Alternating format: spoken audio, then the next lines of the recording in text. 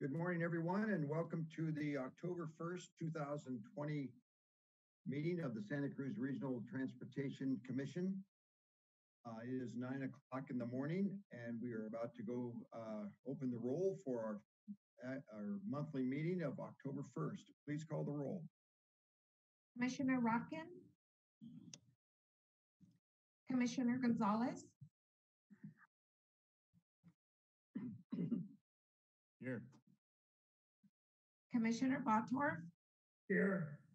Commissioner McPherson? Here. Commissioner Leopold? Here. Commission alternate Mulhern? Here. Commission alternate Schiffrin? Here. Commissioner Caput? Commissioner Coffman-Gomez? Present. Commissioner Johnson? Here. Commissioner Brown? Commissioner Bertrand? Here. And Mr. Eads? Thank you. We do have a quorum. Um, We're going to item number two. I'm sorry, Commissioner McPherson, Commissioner Lynn just joined us. Oh. Thank you. Yes. Anyone else? Okay. We do have a quorum. We will go to uh, item number two, oral communications. Any member of the public may address the commission on any item within the jurisdiction of the commission that is, uh, for an item that is not, or an issue that is not on the agenda. Uh, we'll Listen to all communications, um, but we won't be taking action on any items that are brought up. Um, Speakers are requested to state their name and clearly so their names can be accurately accurately recorded in the minutes of the meeting. Uh, Do we have anybody that would like to address us in oral communications? Yes. Um, we have Mr. Pico.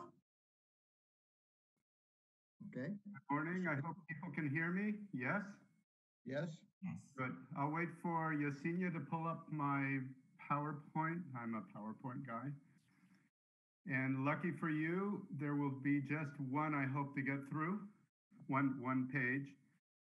I want to talk about the cost of the Unified Corridor Study, Unified Corridor Study, study uh, projects on transit. And I've graphed it out using their numbers uh, for the different projects that are in Appendix B. So the bus on shoulder comes up to about 140 million, uh, 120 million. I don't recall exactly, but you can see it's pretty low. Uh, to be fair, it's uh, piggybacking on top of the auxiliary lane, which is going to cost about 100 million dollars. So that whole line should be moved up a little bit. But the point is, that's a low-cost solution. However, we should recognize that the bus on shoulder will take relatively few people back and forth between Santa Cruz and Watsonville because it's not going through the areas of, of interest besides stopping once at uh, Cabrillo College. The bus rapid transit um, has a low cost as well. It's a higher cost of operation over 30 years, but it's going down the main areas of, um, of business and health and where people want to go. So it would carry a lot of people, probably more than any of the other alternatives being shown. The bus on the rail corridor, and I put in no connections, that's the one that's included in this study. But if you recall, that's going to just keep people limited on the rail corridor next to the coast. It's $600 million over 30 years. Uh, more expensive than the bus rapid transit, less effective, and people are stranded at the boardwalk, which is half a mile away from downtown, half a mile away from Capitola Mall, uh, you know, all the places of businesses that people go. The bus on the rail corridor, if you add connector buses where people would like to go, like Dominican Hospital and Home Depot and, and all those places, and even downtown Santa Cruz, maybe they might want to go, that would run the cost up to, um, unfortunately, I can't, give me one second, I have to minimize something. Anyway, that goes up to about uh, almost $1 billion over 30 years. And lastly, the train on corridor uh, with the connector buses, which is what is proposed, is a $1.2 billion project over 30 years. And my point is, this commission is on an all or nothing strategy relative to, quite honestly, the train or maybe the bus on the corridor. But you can't get there from here. And I wonder when the commission will take a moment to try and compromise their goals and actually find an affordable solution to transit instead of some ideology that we cannot afford. I've always said this if the train were free, I'd be for it. I have no problem with that. It's just ridiculously expensive and ineffective, very low ridership for the amount of cost. Um, and, and that's really my point. I wish you guys would, quite honestly, wake up to reality and, um, you know, and, and I don't know, I just feel like we're wasting, you've wasted 10 years already, and you're going to waste another 20, 30 years until you, till the commission figures out they don't have money to get there.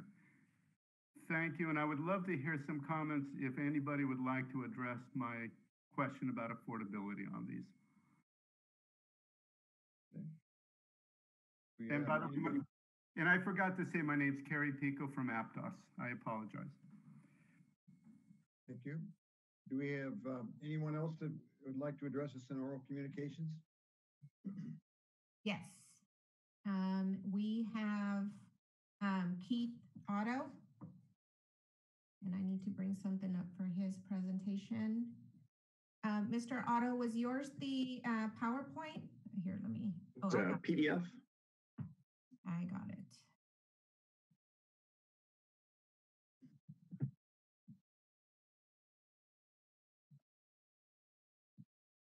That's it. And yeah, you can do uh, control zero and it'll size to uh, full screen. Looks like, yeah, looks like that's it. Okay, great. Hey, so quick sound check, right? Can everyone hear me okay? Yes. Fantastic. Um, thanks so much. Keith Otto, county resident. I wanted to follow up on an item that was shared at the meeting last month by a- another speaker regarding utilization of the tracks in the rail corridor. Quick recap of the item discussed that I want to revisit. If train service is implemented in the rail corridor, what can we expect as far as utilization of those tracks? In other words, if one were to stand next to the tracks all day at a safe distance, of course, how much of the time would the tracks be used with a train going by, for example, as pictured in the upper row? Compare that to how much time would the tracks be idle, no activity on the tracks as pictured in the lower row. The calculation comes down to how much time does it take for a train to pass by and how many trains go by in a day and compare that to the total time in a day. Does anyone recall the numbers shared last month? Uh, next slide, please. So those numbers were 1% utilization, 99% of the time the tracks are idle. I pulled out some pencil and paper and did the math. There's some engineer types on the commission. I invite you to do the math as well and let me know what you come up with. What did I find? The speaker last month was very, very, very generous in his numbers. Um, next slide, please. So in order to do these calculations, we need some specifics. And I leveraged the pre-pandemic details from the Sonoma Marin SMART train. And here's what we find, that the utilization is much, much, much less than 1%. Now, if you all choose to implement a train here, it probably won't be exactly the same as SMART. It'll be somewhat different, but the utilization of the tracks will still be very much less than 1%. Consider what it would take for SMART to reach that 1% utilization. Next slide, please. SMART would need to run 287 trains a day to get to that 1%. Bottom line, why does this matter? What's the point? The rail corridor is a very unique, very precious space. The ask is that we make decisions to use this space most effectively and most wisely. And the question for all of you is in the coming months, that's going to be how do we make this happen? How do we use this most precious space wisely and effectively? Thanks for your time. Thanks for listening. Thank you. Appreciate your presentation. Um, Anyone else that would like to address us? Oral communications? Mr. Brian Peoples?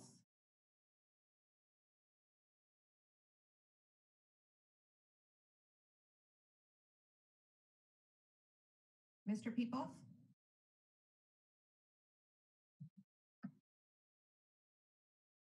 Yeah, I'm sorry. I'm sorry. Um, this is Brian Peoples with Trail Now. You know, first of all, I want to re- um, thank Carrie and Keith for continuing to dig deep into the technical um, details of using the corridor and transportation as a whole.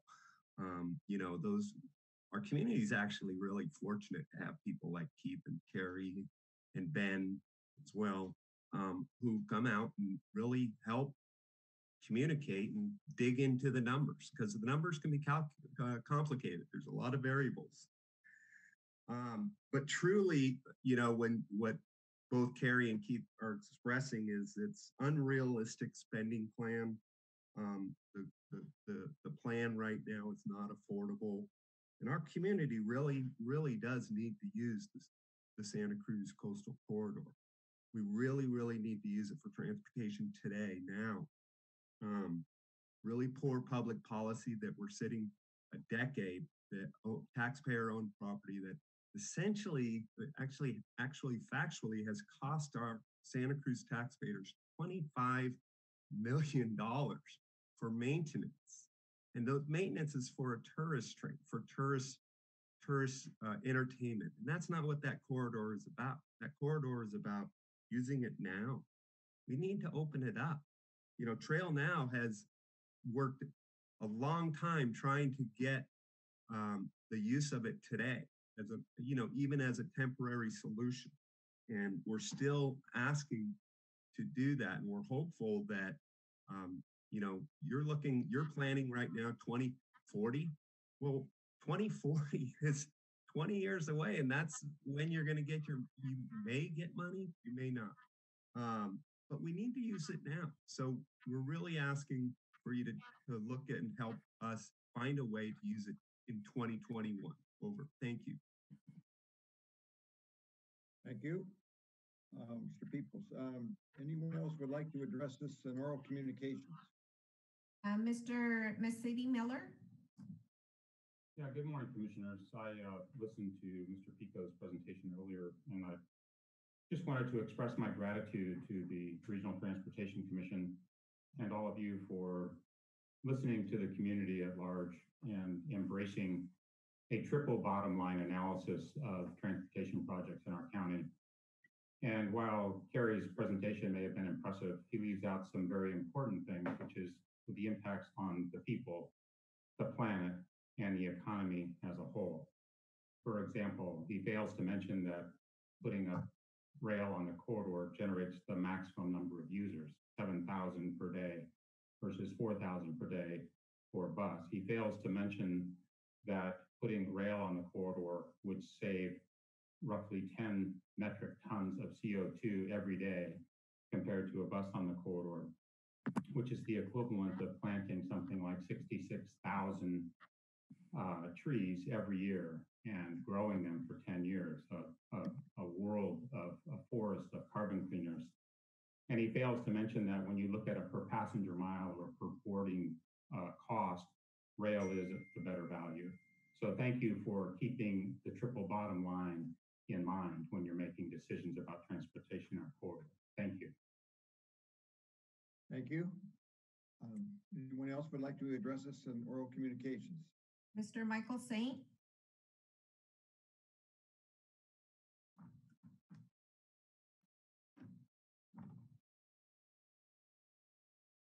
Mr. Saint? Can you hear me? Yes. Okay. Um, good morning, commissioners and staff. Uh, first, I'd like to thank all of you for your hard work and public service during these difficult times. Um, I'd like to remind you back in 2013, the state passed uh, Senate Bill 743 to correct a negative outcome of CEQA process. As of July 1st, 2020, the state's guidelines for implementing SB 73 are now a requirement for all cities and counties. With the goal to reduce traffic delay, cities expanded roads and intersections. The state now recognizes that the old policy resulted in increased traffic increased greenhouse gas emissions, and urban sprawl. CFST uh, requests that you recommend a new policy that is more aligned with the spirit of SB 743. We request that the RTC um, use Measure D funds towards reducing vehicle miles traveled, which is a metric identified by the state to determine policy's impact. Funding should go towards encouraging mode shifts such as walking, bicycling, uh, mass transit, and telecommunicating. Back on September 10th, 2020, I sent uh, all the commissioners a, a letter um, realizing that your time is valuable and in short supply due to the numerous problems that have arisen these past six months. Uh, basically, we'd like to uh, direct you to that short 10-minute Caltrans video, which is included in that email that gives you an overall summary of the new CEQA guidelines to use under SB 73, 743 for planning and approving transportation projects. This is a big change and something we all need to have some grasp of to make present and future decisions about how we move people around our county. The county is not grandfathered under previous EIRs, and those may be revisited on a case-by-case basis. I hope you'll review that September 10th uh, email I sent. Hope you'll watch the video to get some uh, knowledge of what is actually supposed to happen in our county according to our the state of California. Thank you for your time. Thank you, Mr. Sain. Um, Is there anyone else that would like to address us on, under oral communications? Mr. Barry Scott. Thank you. This is Barry Scott in Aptos, and I want to share uh, a. Uh, I want to thank the RTC, and I want to use. I want to. I want to share a a lofty quote that sometimes has been attributed to Martin Luther King, um, but I believe it goes back to Theodore Parker in sometime in the 19th century. And he says, "The arc of the moral universe is long, but it bends toward justice." And and I, I want to apply that to the the arduous task of figuring out what to do with our our rail corridor, our transit corridor, and um, and that I really respect the diligence that staff and the commission and all of the other you know participants in this important decision, including our neighbors in uh, TAMC in Monterey County, um, have committed toward what will turn out to be justice. This this uh, the use of this corridor is a matter of equity. I think the commissioners realize this. I know that there's there are always challenges in in trying to reach consensus and trying to find funding for something like this, but this is so important, and I just really respect uh, having been a an observer and participant in the various studies that seem to continue to bring us back to the same point that transit and probably rail transit of some form on that rail core and connected to the state network and connected to Monterey are going to turn out to be the right thing to do. I, anticipate, I, I look forward to the results of the trans, uh, transit corridor alternatives analysis. I'm excited to see uh, the governor signing SB 288 that allows public transit agencies to temporarily bypass environmental reviews and fast track projects, including bus lanes, but also light rail service. And so I just uh, encourage you to, to keep moving, moving ahead. And I just want to thank you very much. Thank you. Thank you. Um, Anybody else would like to address us under oral communications? Chair McPherson, I do not see any other hands. Okay. Um, We will move on to item number three, additions or deletions to the consent and regular agendas. Does any board member have uh, one request uh, to pull an item either on consent or on the regular agenda? Um, before we do that, Chair, I do have um, uh, to report out that there is a replacement agenda. It's a fairly minor change. Um, we added a county, the county as a party to item 22 um, at the bottom of the agenda. And then I, I, would like to reverse the order of closed session and have item 21 um, precede item 22, um, or actually item 22 precede item 21. And that's necessary due to staff availability. And then there's also a replacement page for item 12 and a handout for item 16, and those items are posted on our webpage. I got it. That was the handout, the correspondence log. Okay. Um, so, uh, item twenty-two is not on the closed session. It's, we're just gonna move twenty-two to twenty-one and twenty-one will become twenty-two. Correct. Okay. All right, uh, okay, uh, addressing anything on the consent agenda, so items, um, four through seventeen. Does anybody have any comments or want to pull any item for any reason? Anybody from the public? I do not see anybody with a raised hand. I'll move the consent agenda. Second it. Consent agenda has been moved and seconded. Uh, please call the roll. Uh, Commissioner alternate Lynn, She's on mute. I just unmuted. Aye. Commissioner Gonzalez, Aye. Commissioner Bottorff, Aye. Commissioner McPherson, Aye? Commissioner Leopold, Aye. Commission alternate Mulhern, Aye. Commission alternate Schiffrin, Aye. Commissioner Caput, Aye. Commissioner Coffman-Gomez, Yes. Commissioner Johnson. Aye. Commissioner Brown, Aye. Commissioner Bertrand. Aye. That's unanimous. Very well. Uh, we will go to our regular agenda on uh, item number eighteen and commissioner report, commissioner reports. Is there anybody that has an oral report that they would like to address the commission? Seeing none, hearing none, we go to, uh, item number eight, or nineteen, the director's report. An oral report by our executive director, Guy Preston. Thank you, Chair McPherson, commissioners and members of the public.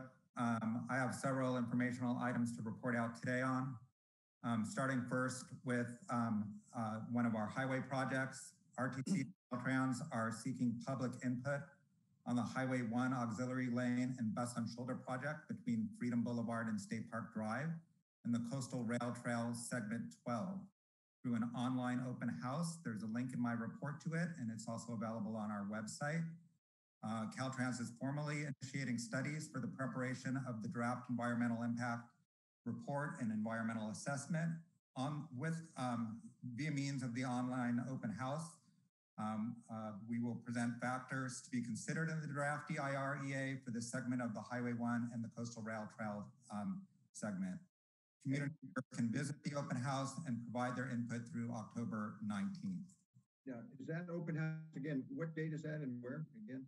It's available right now via our website. It's, uh, an, it's an interactive um, um, open house via our website. Um, um, so you can uh, log on today and you can do it um, anytime between now and October 19th. Thank you. And then uh, similarly, uh, um, as part of the Highway 1 uh, auxiliary lane bus on shoulder project between State Park and Bay Porter Drive, we have a um, online video and, and are also seeking public comment on the Mar Vista overcrossing um, aesthetics um, associated with that project. Um, that there's a link also on my um, director's report to that website. It's available now, right now, and uh, comment is being uh, accepted through October 9th, 2020. I have a coastal rail trail update. Uh, project development and construction continues on various segments of the coastal rail trail.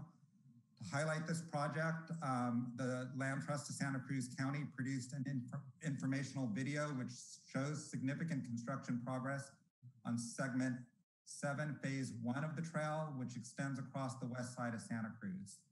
I expect to have an announcement on a virtual ribbon cutting of segment seven at the next RTC meeting. The video also provides a nice overview of the full trail and discusses many of its design con concepts. And if you missed Cory Caletti, I highly recommend that you uh, take a look at this website. Corey stars in it and really does a great job of, of showing what's some of the progress that we have on the rail trail. Um, I also um, provided in my uh, director's report a map which shows all of the sections of the rail trail that are under development. We have over half of the uh, rail trail itself um, moving forward at this time. And um, there's great information on our website regarding the progress that we're making.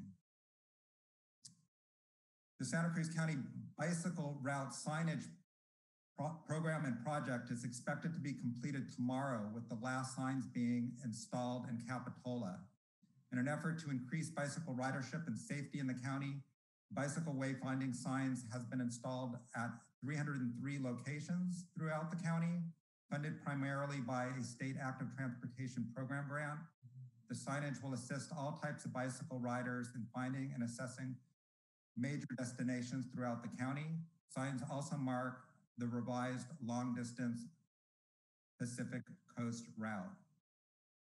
As a reminder, October is Bike Month, and in celebration, we encourage everyone to get out and explore the county on their bikes and use the new signage to reach areas of interest as well as preferred and safe routes to travel throughout the county. There's an online map available with the signage on our website, and I provide a link to that also in my director's report. I have an announcement on the emerg- on an emergency contract. On September 8th, 2020, I executed an emergency sole source contract with Industrial Rail for $8,260 to make repairs to the maintenance walkway on the Antonelli Trestle after conferring with Chair McPherson. This bridge was damaged when an SUV tried to drive across the bridge and broke through the walkway. The work to repair the walkway has been completed. RTC is seeking reimbursement from the insurance of the driver. The transit corridor alternatives analysis. Um, uh, RTC staff is working with its consultant HDR on completing performance measures and um, the draft report. The schedule was being driven by a Caltrans requirement associated with network integration study. Caltrans has agreed to provide some relief to their deadline, which has allowed RTC and its consultant the latitude to adjust the schedule out by approximately a month. The extra time will be used to complete the supporting information and the data needed to complete the analysis and report. The revised schedule is shown in my director's report, but in summary, we'll be going out to the public in November, presenting to Metro in December, presenting to the board staff's recommendation in January. Uh, commission action will be in February um, on the locally preferred alternative, and then the business plan will come in April. Making national news, Governor Newsom released Executive Order N7920, reducing greenhouse gas emissions and climate change by drastically reducing the demand for fossil fuels by phasing out gasoline powered cars and trucks. Transportation currently accounts for more than 50% of California greenhouse gas emissions. Zero emission vehicles are a key part of California's clean, innovative economy and is already California's second largest global export market. The executive order sets new goals for the transition of cars and trucks to zero emission vehicles over the next 15 to 25 years. Details are provided in my director's report, but in summary, 100% of the in-state sales of new passenger cars and trucks um, are ordered to be zero emissions by 2035. The goals are expected to be achieved through a combination of policies, programs, and regulatory actions with a focus on requiring automakers to steadily sell more zero emission vehicles until they make up the 100% of new sales by 2035. The state will work in partnership with utility companies, local jurisdictions, air districts, transportation agencies, and other stakeholders to significantly expand charging infrastructure throughout the state and provide affordable fueling and charging options for zero emission vehicles in ways that serve all communities and in particular low income and disadvantaged communities. The executive order also calls for the development of a zero emissions vehicle market development strategy, including additional rebates to cons consumers. It also sets goals regarding oil production and extraction. There are several links in my report to studies that have been done locally and programs that have been done locally, and I expect that there will be more forthcoming. The executive order, order also directs state agencies to, to develop strategies to improve clean Well- transportation, sustainable freight and transit options, including an integrated statewide rail and transit network and supporting bicycle, pedestrian, and micro mobility options, particularly in low income and disadvantaged communities. So essentially, the, the governor is doubling down on his, his executive order 1919 that I reported to you last month with regards to um, driving transportation funding towards these more sustainable programs.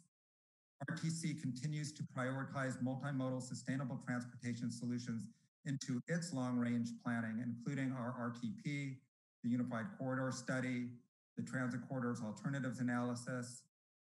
The analysis itself, funded by Caltrans, um, will integrate transit assumptions and show connectivity to the state rail network.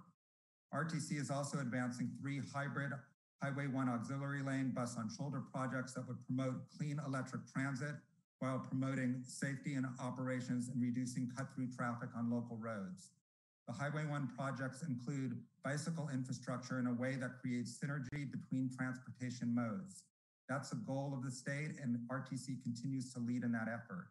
Our recent application for SB1 funding discusses how our proposed bicycle and pedestrian improvements on Soquel Drive lead to active transportation bridges on across the highway to the Santa Cruz Branch Rail Line, another multimodal facility consisting of the rail trail and future clean transit. RTC staff and local jurisdictions will be participating in discussions with state agencies on the implementation of the executive order. And uh, a member of the public beat me to it in um, uh, letting you know that the governor signed Senate Bill 288 on September 29th. This, is, this allows public transit agencies to temporarily bypass environmental reviews and fast track projects such as bus lane, bus routes, and light rail service. According to press announcements, pedestrian pathways, bike sharing facilities, bike only lanes, charging stations for electric buses and light rail systems would all be easier for um, transit agencies to construct under the law. Projects would have to be located within an existing public right-of-way, could not increase automobile capacity or demo demolish affordable housing, and would have to meet um, heightened labor standards to qualify. An existing exemption from environmental review law for new bicycle lanes, plus parking and storage will be extended through 2030. Cities and county transit, regional, and state agencies are awaiting state guidance and evaluating which projects could be accelerated. I'm sure there'll be a lot of questions on this. Um, there's going to be a lot of debate moving forward as to which projects we should you know, consider and, and doing so, but I don't want to jump the gun. I think we need to really analyze this before drawing any conclusions as to what exactly it means for our projects. Federal Transportation Act. Um, yesterday, the um, uh, FAST Act was set to expire.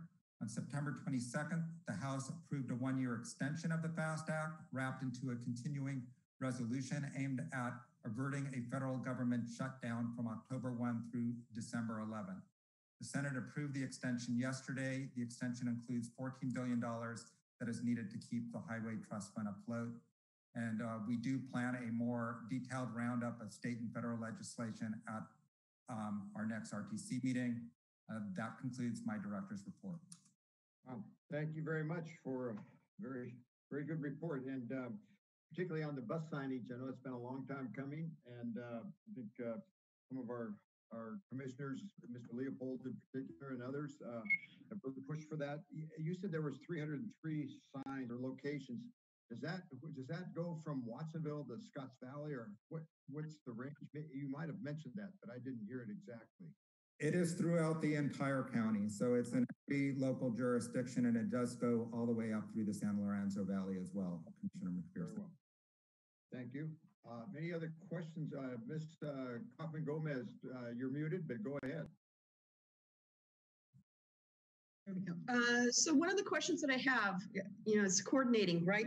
Uh, one of the questions that I have is uh, with the Senate Bill 288, has there been discussion about funding because obviously these projects to accelerate are going to require funding sooner if we're going to actually um, do some waiving in terms of the EIR to implement some of them. So has there been discussion about money?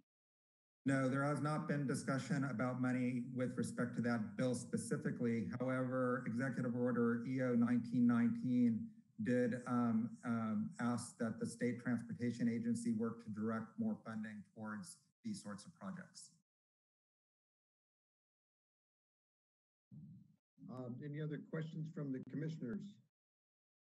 Mr. Leopold. Uh, Thank you, Chair. Thank you for the report. There were a lot of uh, great pieces of information. I want to thank the staff for its work on the bike signage project. I know this has been something that's been in the RTC hands for a while, and seeing completion of it is really exciting. And I know it will benefit uh, bicyclists uh, throughout the county. Also, it is super exciting to hear about the governor's uh, goal to end the sale of fossil fuel vehicles in California. I think that that could really change the market, not only here in California, but through the entire country, because as so goes California on cars, uh, so goes the rest of the nation. And uh, we've we've seen such a great uptick in the use of electric cars here in California that this will have a, a major effect on car sales throughout the, the entire country. So uh, I look forward to this as it rolls out over the next uh, 15 years, but uh, we're, we're on the right path here in California. Thanks. Okay, thank you. Any other uh, commissioners? Comments? Uh, Thank you for that extensive report. Um, We have comments from the public. Okay, go ahead, please. Mr. Brian Peoples? Uh, Thank you. Thank you, Commission. Um, Yeah, I think that's fabulous news about the Governor Newsom signing all the bills, um, breaking down barriers to get our infrastructure improved. Um, That's great. Um, One of the ones that I want to highlight, though, is the electric vehicles by 2035. Um, That's a game changer, and that really ends the argument about a train emissions being more effective at reducing emissions because the automobile, electric automobile is already on the road. And, and we, I, we would say that industry will actually beat 2035. I know a lot of people already have these vehicles, so I do believe that. And then when we, when we add to the fact that the automobile is actually going to be autonomous, so virtually it's going to they're virtual trains. A 2012 Columbia University study showed that with autonomous cars, where cars are communicating with one another, um, the capacity of a highway can increase by 270% because you essentially remove the space between the cars and you have a virtual train. Virtual train, that's what you have. And and when we talk about people with disability and handicap, they need that direct to direct service of the automobile. And now that it's electric, they can get it from their home to their work, direct point A to point B. And that's very significant. So um, I just wanted to make sure we understand that now this eliminates any discussion about a train having more efficiency. Now, the, the other question I have is on segment uh, 18 and segment 7A, the current trail. Um, great news, you're finishing up. I believe seven sec Watsonville segment 18 is is shut down right now because of costs. Wondering if we could, if the commission could get a report on that, as well as I hear rumblings that the cost overruns, if they're going to be recorded for 7A, uh, the costs have gone up. Over. Thank you. Thank you. Um, Mr. Otto? Yeah, quick sound check. Can you hear me okay? Yes. Yeah, so uh, quick comment with regards to the director report. Thanks for the information. Um, in particular, the timeline for the transit corridor alternatives analysis. Uh, quick question. When is the TCAA draft report expected to be available to the public? Is that going to be part of the November open house or does that, does that not uh, get published uh, to or become available to the public until the January uh, 2021 meeting. Thank you. No. Uh, Mr. Mr. Saint?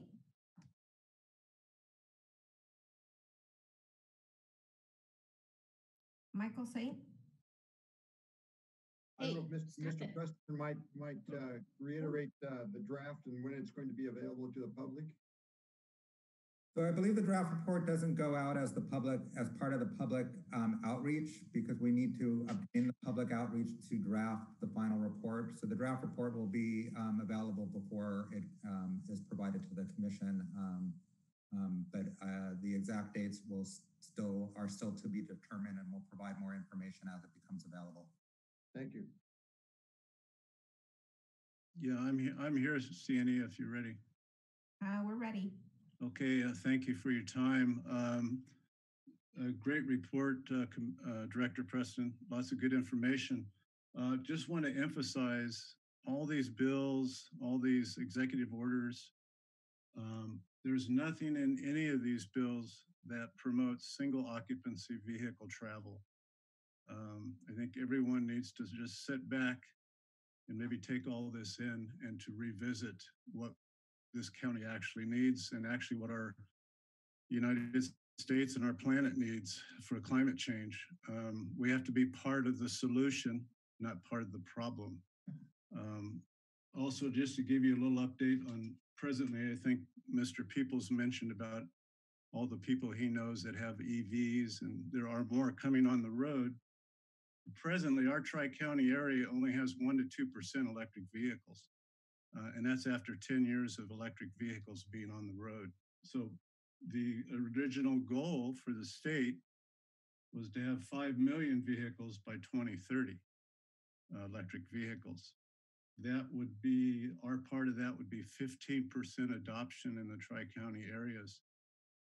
Um, I don't like to be a negative person. I always try to look for the uh, silver lining in things, but that means we have to increase 14, 13% in the next 10 years. So any of you out there that are not driving an electric vehicle, and if you want to walk the walk and you need a car, just go electric.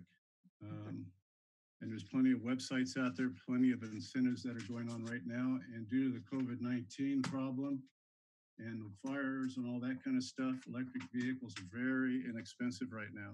Uh, I'm in the process of getting my son one a Fiat 500, which is 80 miles range, but basically we're going to get the car for free. So um, take a look at those things. And uh, like I say again, let's all walk the walk. Thank you. Right, and the, sure, uh, executive orders are different from legislative action and uh, approval by the governor. So um, we'll see, uh, it's a good, good target. Uh, I don't know if we're gonna get there, but uh, it's been tried before. Uh, and congratulations on getting your son an electric vehicle. Mhm, Uh, Thank you. Anyone else from the public that would like to um, address us? I do not see any more hands up, Commissioner. Okay. We will uh, go to item number 17 uh, in the uh, new agenda, uh, the Caltrans report. Good morning, um, Mr. Chair and members of the commission. I'm Scott Eades again here today with you. Um, Tim Gubbins is not able to make it. I just have a couple items to report on. Um, one is I wanted to highlight a uh, study that's being done by Caltrans down in San Diego. And it's uh, uh, looking at different ways of addressing wrong way drivers on off ramps. Um, it doesn't happen often, but when it does, it's pretty dire consequences in terms of the uh, the level of injuries or fatalities that are associated with those types of accidents. So uh, we're currently in a study where we're looking at different types of measures to make the, the drivers more aware of the, the fact that they should not be driving in these spaces um, in the wrong direction. So um, it's going on now. It's about a year long study. And so if you happen to be down in San Diego and you see some of those features, you'll um, understand why that's happening. And, and, you know, depending on the outcomes of that study, you may see more of that throughout the state. Another thing I want to highlight is uh, the California Transportation Plan. I mentioned this last time uh, for 2050 is out on the street for public review. We held a webinar last Friday and uh, the public comment period closes on October 22nd. So if you haven't already, please um, spend some time in that document. It's, it's quite high level, but it does uh, cast a vision for the future throughout California. Um, and uh, as I mentioned, comments are due on October 22nd. More information is available on CTP 2050. Uh, and then the last thing I'll say is that uh, we're working closely with the County of Santa Barbara staff to process uh, emergency requests or emergency um, projects um, through our local assistance branch. Caltrans is also doing the same thing for the, the fire damage that was sustained in Santa Cruz County. So um, we're continuing to work closely with the county and others on that process. With that, I'd be happy to take any questions. Any questions for Caltrans? I know we had a terrible, um, oh, oh, just want to make a comment and, uh, Ms. uh, Coffman-Gomez, uh, we had a terrible wrong way entry. It wasn't an off ramp, but, um, uh, the entrance to, on Ocean Street, uh, from Highway seventeen, it was a fatality. That was somewhat five years ago at least or something. Yeah. Well, you can imagine those aren't good situations at all. Uh, Ms. Coffman-Gomez. Yes, thank you. I just want to share with you a comment that I've received from the public that would be a Caltrans um, location. And I know that you're working on Marchant and East Beach in Watsonville. Um, but there was a comment that came up about request for a flashing beacon at the block prior to, and that was that car in East Beach. Um, between the two of them is where the clinic is, where the high school students are, and there's been some near misses there that I've received information on. Um, so if we can just put that on the Caltrans radar, since that is a Caltrans uh, location, that if there's something that could be done or be put on the list for future items, I would appreciate it. Thank you. Thank you. Thank you for passing that along. Um, Mr. Bertrand. Uh, you're on mute? You're on mute? Yeah, got it.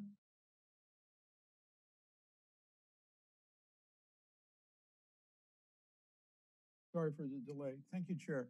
Um, yeah, I do have a question about highway damage, and um, I'm glad you brought that up, Scott, um, especially here in Santa Cruz County. Uh, some of the smaller roads, which are hard for us to maintain, and so any kind of damage is an issue. Um, so I was visiting some friends of mine because uh, I lived up in Scott in San Lorenzo Valley, visited them uh, and saw their homes, and a lot of concern about what they had to go through, of course. And like I mentioned earlier, many of us know people like that.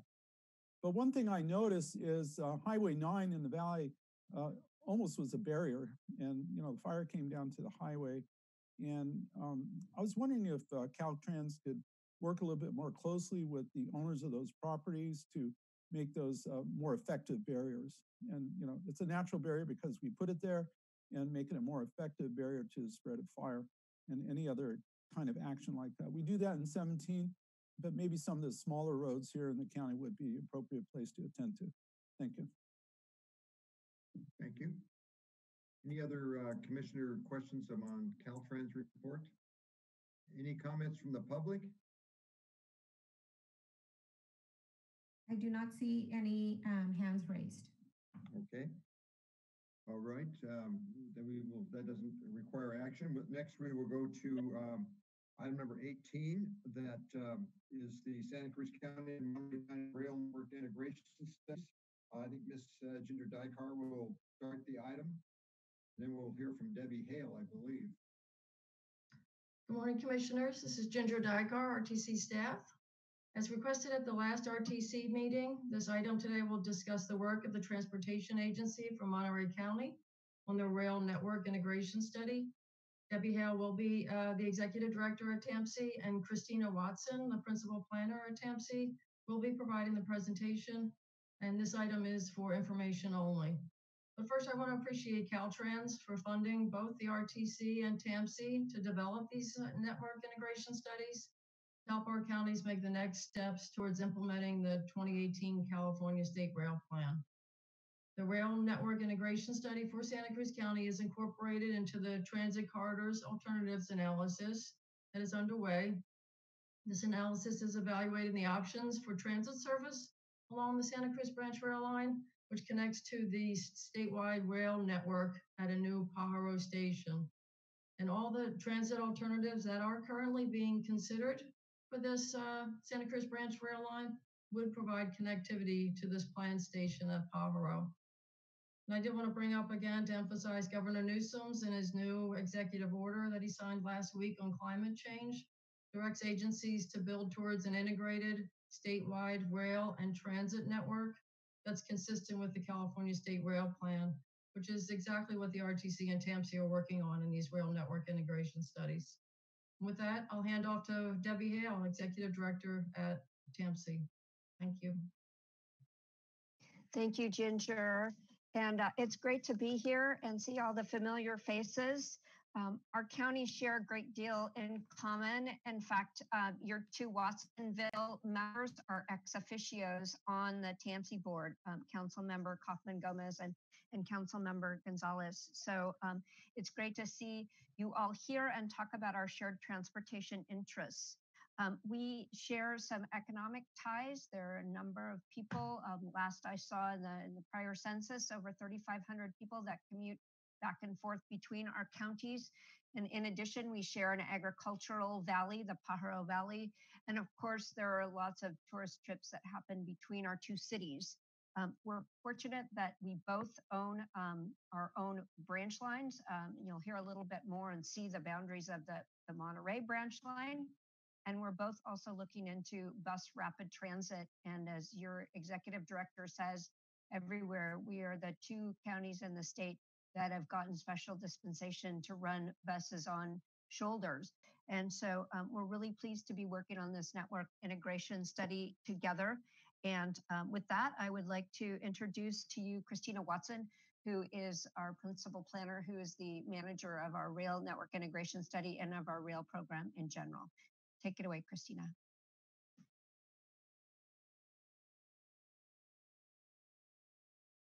You might be mute. Hi, yes, I just, am, am I muted still?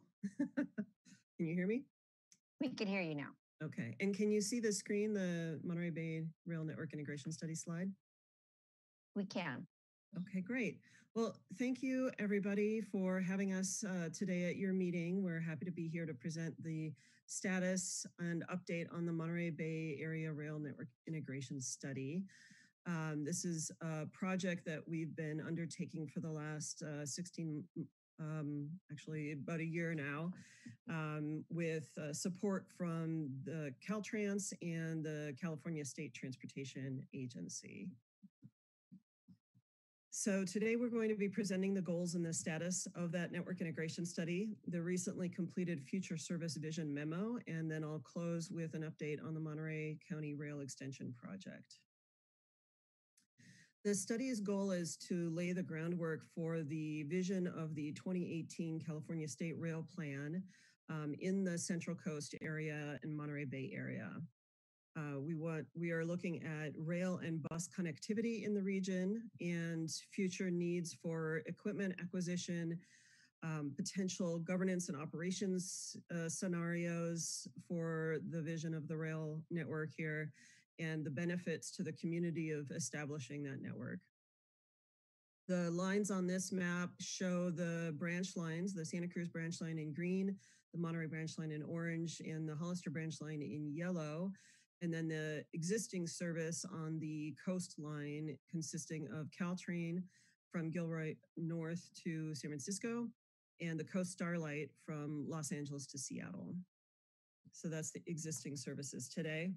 Our, our study focuses in on the region uh, Gilroy to San Luis Obispo, including Santa Cruz County and Monterey County.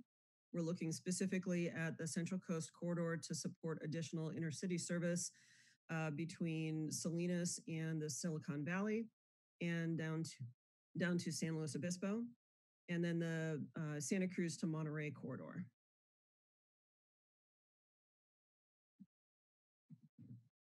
So this map shows the 2040 vision uh, from the state rail plan. On this map, the blue lines are intercity rail uh, or regional rail. The green or aqua line is the high-speed rail network, and then orange lines are intercity bus connections. And this study will provide the data that we will need to uh, supply to apply for grant applications for future stations at, for example, Pajaro Watsonville at the Watsonville Junction in Pajaro, the Castroville Station, which is the junction with the Monterey Branch Line, and then stations down in the valley at Soledad and King City, as well as stations along the branch lines. So our recently completed future service vision memo is included in your packet um, in full. It's also on our available on our website. This is the sort of the basis, the foundation of the network integration study. And it is founded on, based on a rail network modeling that was done on the existing rail network throughout the Central Coast and to show what was, what could be sustained with the existing infrastructure. The future service, um, sorry, let me get to the next slide. The future service vision uh, shows these corridors uh, in contemplating the rail service scenarios that I described earlier. So Salinas to San Francisco, Salinas to San Luis Obispo, not really shown on this map. Um, and then the Monterey to Santa Cruz um, around the Bay corridors. So infrastructure needs identified in this study include reactivating the branch lines and bringing them up to the standards needed to sustain rail service, developing new stations, and acquiring rolling stock or equipment uh, to provide that service, and developing support or maintenance facilities for the service. the initial service concept and the the this is built on the 2018 state rail plan which has three time horizons so these time horizons come directly from that that rail plan and the idea is to phase in the improvements over time to achieve the 2040 vision without having redundant investments but to be able to improve service in the near term and then phase in over time to to the full vision. So this service, the 22, 2022 service scenario, uh, which seems very soon now, um, contemplates peak hour, peak direction, so commute-friendly service on the line from Salinas up to San Francisco using Caltrain service uh, with three weekly weekday round trips. And the uh, blue line on the map represents that service. And then the orange line represents connectivity on local and, and intercity bus services. And the idea is to have a pulse system where the buses and the trains meet each other so that the ride is seamless for the passenger. The passenger doesn't find themselves waiting for the next train or the next bus.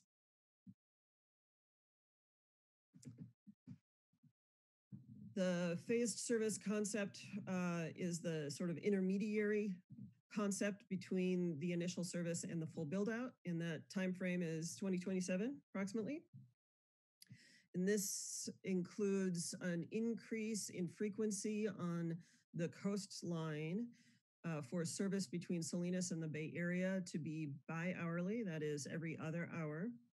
And it includes also, you see the, the blue line now continues south from Salinas with a train going down to San Luis Obispo approximately every four hours with new stations at Soledad and King City, which don't today have stations. So this is uh, new investments that are needed. And then with the uh, continuation of bus connections throughout the system. And this scenario assumes a one seat or one ticket ride from Monterey to Santa Cruz um, using the current routes that uh, Santa Cruz Metro and Monterey Salinas Transit currently run. Uh, the idea here is to add in uh, connectivity at the Castroville and Pajaro stations for timed connections to the trains. Um, so those stations also do not exist today. So that would be future investments as well. Uh, this bus service uh, is, we have the, the schedule is using the assumption of the current infrastructure for bus connectivity that buses currently run today, but that system would obviously be improved with any kind of bus on shoulder project or the Monterey Salinas Transit's surf project that they're planning for the Monterey branch line. So the, the, um, the speeds would be faster, the bus speeds would be faster and the service would be smoother. This is the full service vision build out as I referred to earlier.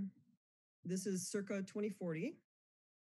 This includes hourly rail service Salinas to the Bay Area and bi-hourly rail service south to San Luis Obispo. And the new color on this map is green. That represents a regional rail service around the bay between Monterey and Santa Cruz. And as Ginger mentioned, um, all of the alternatives under consideration now with your TCAA would provide connectivity to this network Obviously, if it is a wheeled alternative, there would be a connection rather than a one seat ride alternative. But in any case, there would be an improvement in, in service to the community. And there would always be, in, the, in this scenario, there would always be a connection at Pajaro and at Castroville to the intercity service on the coastline. So that is the future service vision that is in in in the in your packet, and then um, the network integration study is delivered in these separate memos that undergo a thorough review by TAMC staff, by the Network Advisory Committee, on which your staff and Metro staff have seats, and by the TAMC Rail Policy Committee, and we are posting them on our website when they're available. So here is the schedule for those memos. So we have the existing conditions report is already up as of April of this year. And the future service vision just went up just a few days ago in September, uh, which also includes the network modeling. That's combined into one, one, one uh, memo.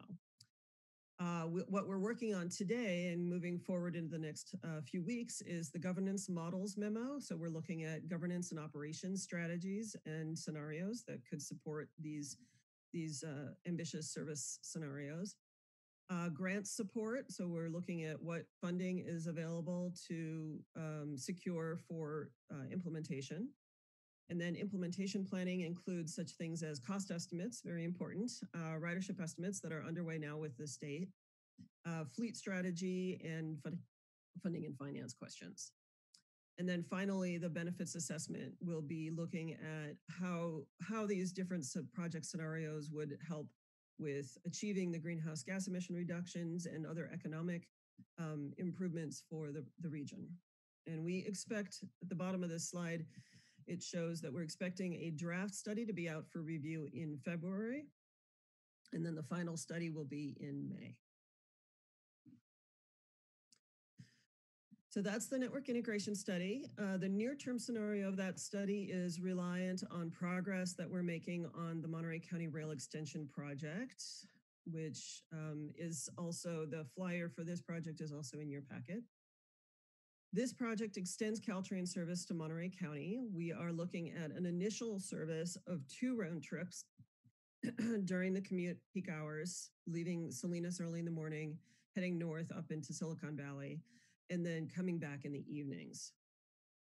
Um, this project is known as the Kickstart Project, as it is the first phase of the overall Monterey County Rail Extension Project, which also then in the full build out includes new stations at Pajaro and Castroville. So the Kickstart project is uh, broken down into three packages for design and construction. And we are already well underway with this package one, the Salinas train station improvements, which includes signalized access and improved parking and bike and pedestrian facilities at the existing downtown Amtrak station. So that provides improvements today to existing Amtrak service, which is the Coast Starlight, and throughway buses and Greyhound service, which is also at that station.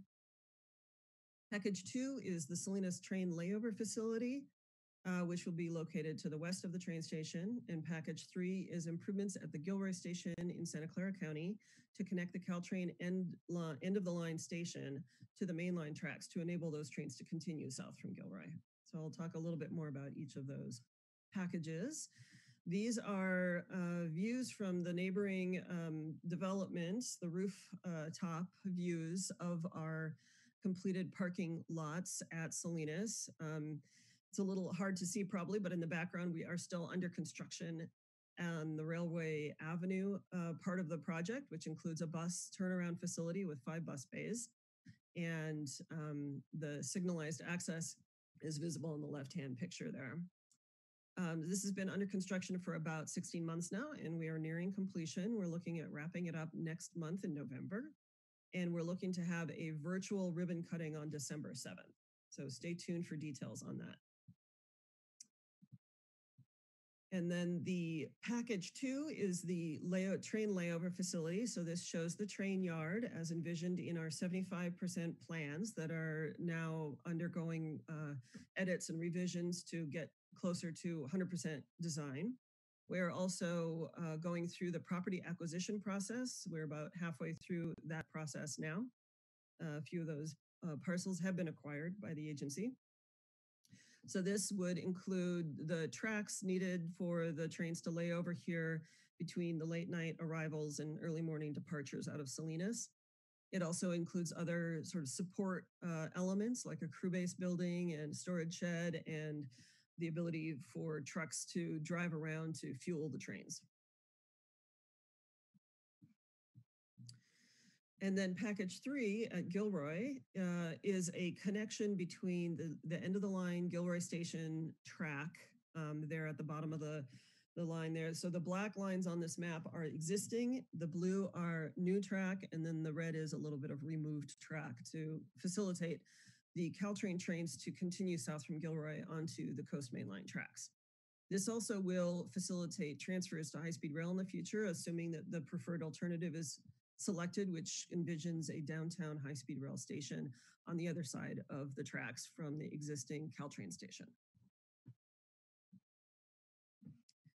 And then the next phase of work on the Monterey County Rail Extension project would be the Pajaro Watsonville station, which would be the hub for service between the Santa Cruz branch line and any uh, bus connectivity to the uh, to the rail line at Pajaro Watsonville. The map shows uh, where the county line is the Pajaro River. And so it's just in Monterey County there um, where the Watsonville yard is today. And it shows that the, the Santa Cruz branch line branching off to the north um, west of the station. So this station is designed to 60% and has been environmentally cleared. Uh, but it does not have any, we don't have any funding right now to move forward with the final design, right-of-way acquisition or construction of this. So the network integration study will help us to gather the data that's needed to support the future grant applications to build this, this station. Excuse me. And then finally, this image shows what the station could look like in the future as, as designed to 60%. And you can see in the, in the background there, the bus turnaround that would meet the train. And that sums up our presentation today, and I'm happy to take any questions. Thank you very much for that report and uh, your uh, your studies and uh, your timeline that you you see. Um, are there any questions from the commission? Uh, Mr. Mulhearn. Uh, thank you. Thank you very much, Ms. Hale, uh, for your presentation. Um, thank you also, Ms. Watson, for a very informative uh, presentation. I just had a question about um, uh, Kickstart Package 3. Do you have a timeline on when we might that that work there to um, upgrade the station and the tracks might occur? Is the project designed? Is there a timeline for construction? And is there funding for it? So the, the Gilroy station is uh, improvements are at 75% design now, and we have a team HDR, um, same team that same uh, firm that you have working on your TCAA, but different actual individuals from that firm, and they're working to bring our design from 75% to 100% design in collaboration. We're working with Caltrain on the engineering of that. Uh, so we've we've received comments from Caltrain on the 75% plans, and the um, biggest uh, question mark in terms of our schedule is Union Pacific because we also need Union Pacific to review and comment on our design plans, and then we'll be able to move forward with the project. Thank you. Any other questions? Mr. Leopold. Uh, I want to thank uh, you for the presentation. It's really nice to see these plans moving forward and that uh, we will have this uh, train connectivity uh, down in um, the, the Monterey Bay region. I think it will be really helpful as someone who's taken that train up to Sacramento and San Francisco in the past, uh, sometimes with Ms. Hale. I think we've been on the train together. Uh, it'll be nice that we'll be able to get it closer to home than, than where we have it now. So uh, thank you for the work. I look forward to our uh, alternative analysis that will figure out how we connect in with this system that connects us in with the rest of the state. Thank you. Okay, um, any other um, comments from the commission? Uh, Ms. Coffman-Gomez. Yes, thank you. Um, I again appreciate this presentation because it offers clarity for the South County because there's a genuine interest that has been very supportive of the, the projects going on down here. Uh, I and I know that this is the, the focus has been on the, the passenger side. I, I want to ask a question since Watsonville does so much freight. Um, what we have for the lines to see perhaps the potential or what the barriers for doing so to get to the marina state station so that eh, you know maybe we could be using some of that purpose to get um, the the landfill that we've closed here, and we're we're hauling all of this um, material on our highways to get to the marina station. And what when we can see something that might integrate the the freight option to get maybe that um, the all of the movement of that um, to marina. I don't know what barriers if it's over rivers and there's issues there, but obviously, you know, freight is important for us. We want to be able to utilize it. And if there's any, any, where we might be with that um, in, in the, in the planning stages. Well, so I'm not exactly sure if that's something that that we've even ever talked about, but the Monterey branch line is not. We do not have funding for the uh, rail line improvements that would need to support that kind of a project today. So that would be something that we would have to work with uh, Santa Cruz County on a on a future grant application. I think uh, I can envision right now off the top of my head two barriers. One would be that it would have to go on Union Pacific tracks between uh, Watsonville and uh, Castroville in order to access the Monterey branch line. And the other would be the Monterey branch line uh, has a bridge over the Salinas River that needs to be upgraded and improved. And that's um, a many million dollar project. So um, just speaking just off the top of my head, it's not something I don't think that we've we've talked about before.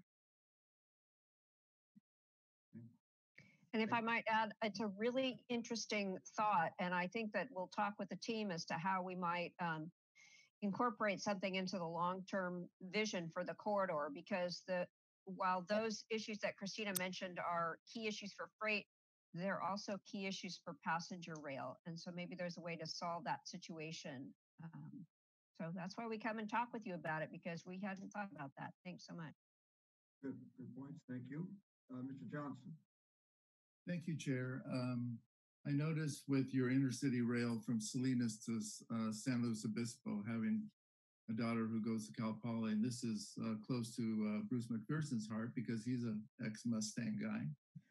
Um, so, in my mind, I talk. Uh, I want to think about this not only in terms of the expense of this connection, connectivity statewide, but also uh, practicality. And so if it pleases the chair, I just want to kind of want to go through a scenario that if I'm in Scotts Valley and I have a desire to visit my daughter, my wife and I want to visit my daughter in San Luis Obispo over a weekend. Um, and she doesn't have a car.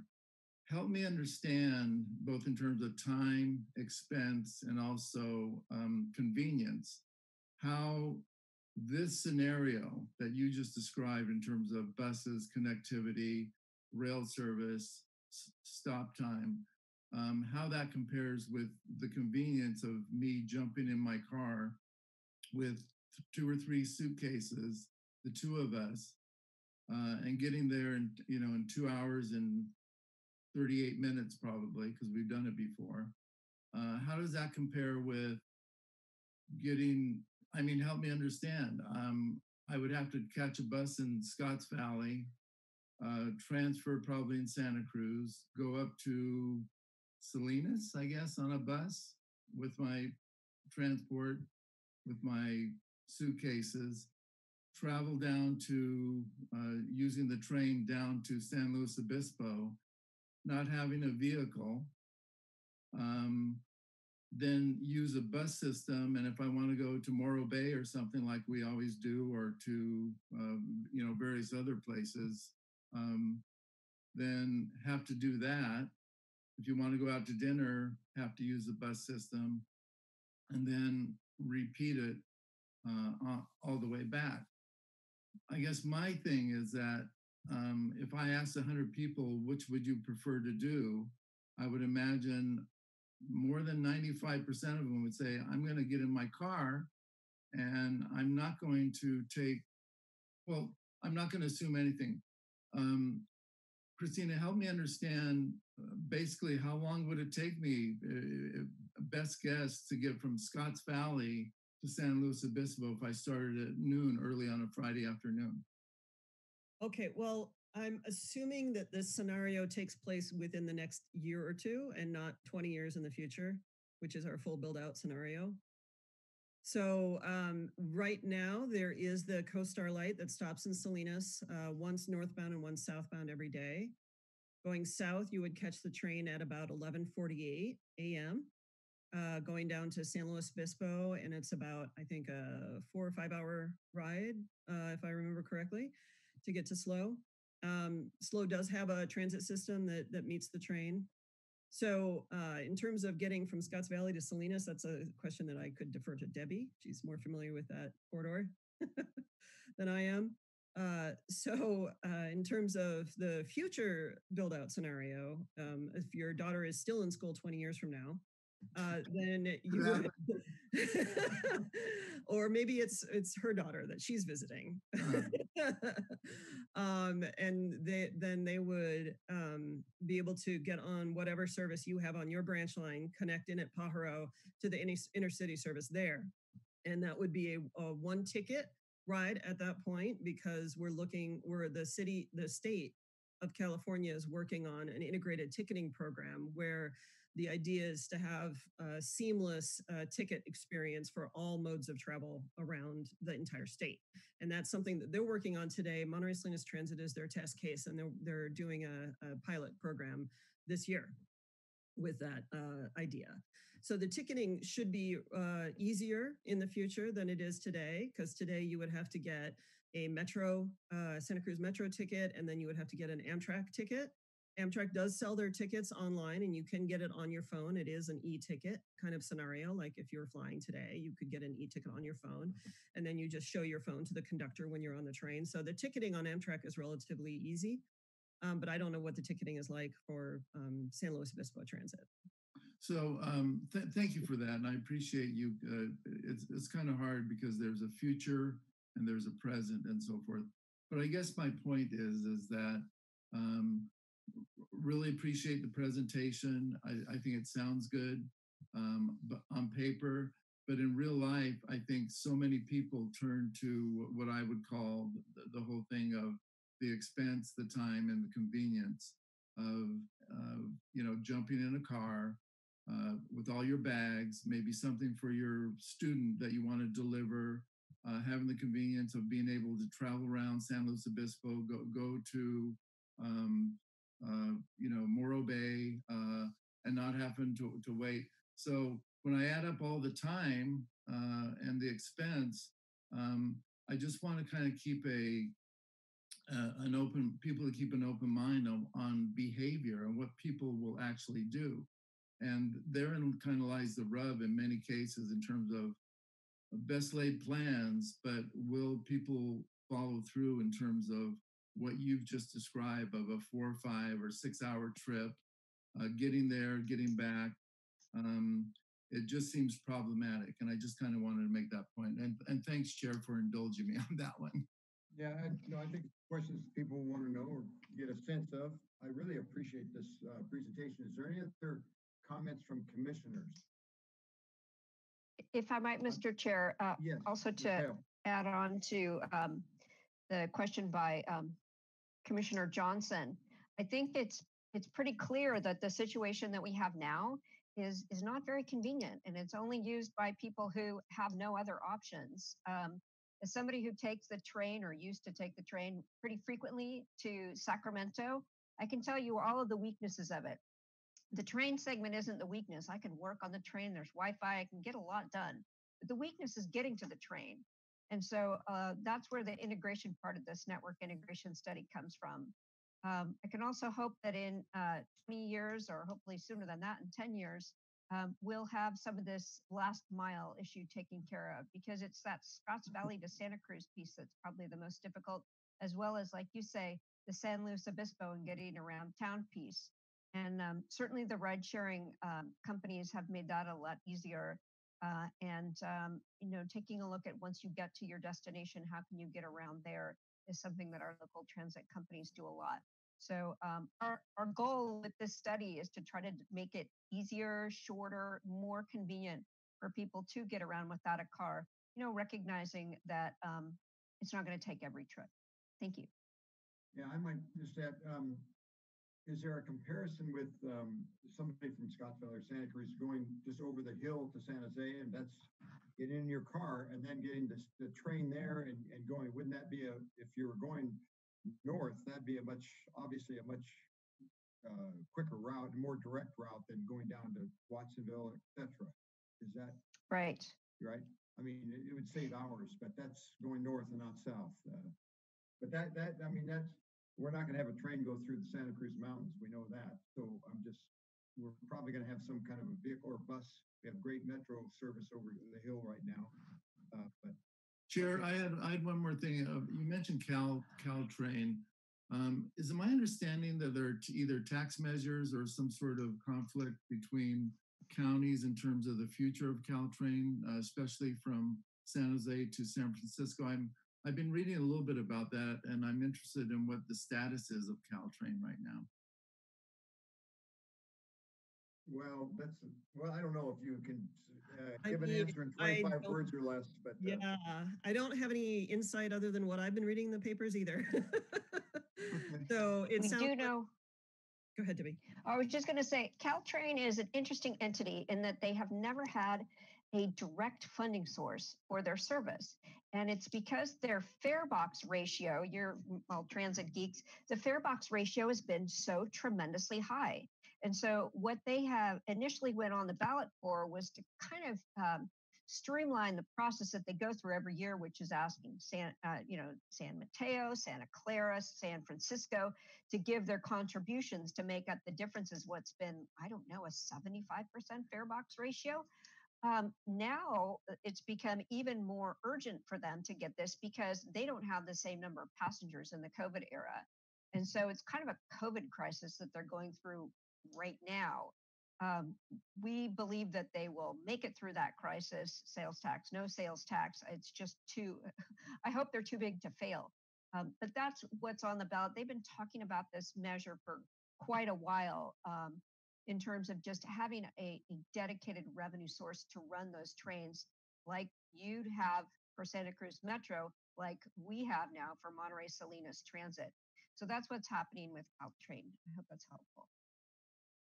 Very good. Thank you again. Uh, let's see, any other questions from commissioners? Mr. Um, Mr. Gonzalez. Can you hear me? Uh, yeah, uh, thank you, Chair. I thank you for that, uh, um, really good, uh, report. Uh, you know, we, we talk about this and then we, we, we always talk about to the future, uh, the use of this, uh, and we're gonna go into electric vehicles, uh, hopefully, and then there's only, there's not gonna be no more gas powered vehicles. Um, and then this equation, you know, we have, uh, an individual that lives in Scotts Valley that can afford to send her daughter to Cal Poly, and is worried about the travel time. Um, you know, I think about a farm worker that sends his kid to Cal Poly and it won't be able to afford that electric vehicle to go visit him. But we'll be able to afford to get on a train and travel that time to go visit your child into the future. So for me, the train is really important, uh, economic wise, uh, for the city of Watsonville and for the for the community of Watsonville, because you know we do have children that do attend universities, and sometimes their parents can't afford to go. Um, and then into the future, once they get electric vehicles, uh, these electric vehicles aren't going to be really cheap. I mean, we're affordable for some of these uh, common workers. So giving them the options to be able to travel, I think is really viable. And so I, I commend you guys on moving this forward, uh, and thank you for the report. Okay, um, looking for any other comments from commissioners? Um, Can you hear me, Bruce? Who's? Bruce, can you hear me? Uh, this Oh, is that Mr. Caput? Yeah, how you doing? Very good. Okay, please go ahead. Yeah, uh, the, the, I want to thank, uh, everybody for the report here. uh, when uh, this is like an uh, old idea that's become a new idea. In the past, if I remember correctly, some We lost you. Um, I can't hear Mr. Caput. Can anybody else? No. Let's see, he's on mute.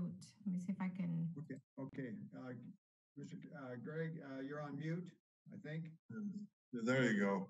Okay. Yeah, it's like an old idea becoming a new idea. In the, in the past, uh, San Francisco, Watsonville, Pajaro, uh, Salinas and San Luis Obispo, uh, all connected. Uh, we used to call that when I was, uh, real young, uh, the milk run. Uh, so all of that is in there. But, uh, so we're talking about re- redoing the entire Watsonville Pajaro station and making it somewhat like it was, uh, fifty years ago. Mhm. So anyway, that's my question. Well, basically, yeah, I think it's a renewed application of, uh, uh, transportation by rail. Uh, I guess that's the best way to put it. I don't know. Uh, Yeah. Yeah. so Not what- having been here 50 years ago, I'm not sure what the station looked like. I probably, probably ought to pull out some of those old pictures. Yeah. But uh, looking back over time, it's, it's always really interesting to see where the train stations used to be and what they were like. You know, somebody that lives in Capitola, I look at the old uh, inn at Depot Hill and I wonder, hmm, I wonder what that used to look like. So it'll certainly be more modern and uh, it'll have things like electric vehicle charging and uh, bus, you know, bus stop, um, regional bus stop, and um, all kinds of different things to reflect the modern times. Places for Lyft and Uber to come and park. Uh, but in the basic concept, yeah, it's unfortunate that those stations went away. Okay, you bet. No, thank you very much. Uh, it's very exciting to look at all this. Uh, okay, thank you. Any other questions from commissioners? I don't see any. Do we have any, um, questions, uh, or comments from the public? Mr. Lowell? Uh, thank you very, thank you very much. Uh, uh, this is a really exciting presentation, and uh, and I want to salute our visionaries from across the river. It's uh, it's nice to have some uh, experts that are are close by, and you know, it sometimes what's old is new again, and let's hope that this will be new again. You know, I remember in a in another century, uh, riding the the rails to Monterey to uh, to Seaside to the Costco parking lot, a demonstration ride, and crossing that Salinas Bridge was uh, kind of interesting even at that time. And and of course, I have uh, taken the train to San Luis Obispo, and it's a really nice ride. So I'm excited about the uh, future and the connectivity, and I just want to say thanks to TAMC, thanks to the visionaries just across the river. Thank you. Thank you, Mr. Hertz. Great to see you.